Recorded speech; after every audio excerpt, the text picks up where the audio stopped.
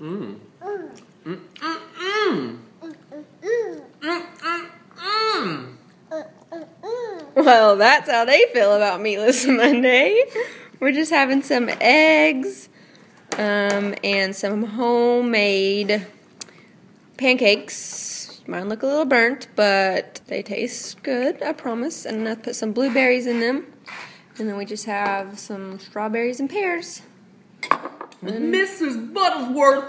Okay, Jared, you're such a weirdo. He's just so excited that he doesn't have bacon. No, I'm not. you want me to eat.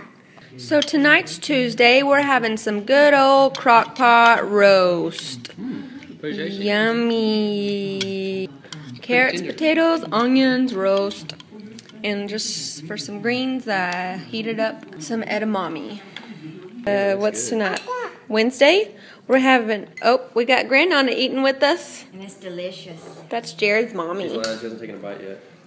It smells good. We're having the ranch parmesan chicken again because it was so good and I knew that Susan would like it. And some mac and cheese We know it's gonna be because it was on sale for 99 cents. I don't cents. know to cook. and it's good kind and a salad. Mm. 15th. Today's tonight's Thursday. We're having loaded nachos. It's a Pioneer Woman recipe and they are delicious. You want to be on camera?